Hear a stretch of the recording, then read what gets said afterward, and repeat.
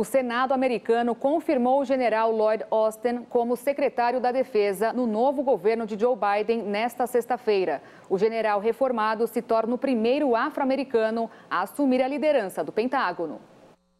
O novo presidente dos Estados Unidos, Joe Biden, agradeceu ao Senado pela rápida confirmação e destacou que Lloyd é a pessoa certa para liderar o Departamento de Defesa neste momento.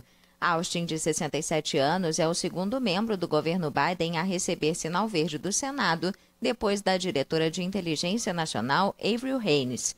A nomeação de Lloyd foi aprovada por 93 votos a 2.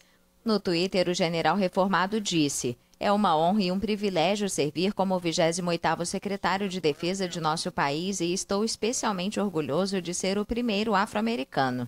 O general foi imediatamente ao Pentágono para se encontrar com o chefe do Estado-Maior Conjunto, general Mark Milley, e vários oficiais civis e militares. A sua primeira ligação telefônica seria com o secretário-geral da OTAN, James Stoltenberg.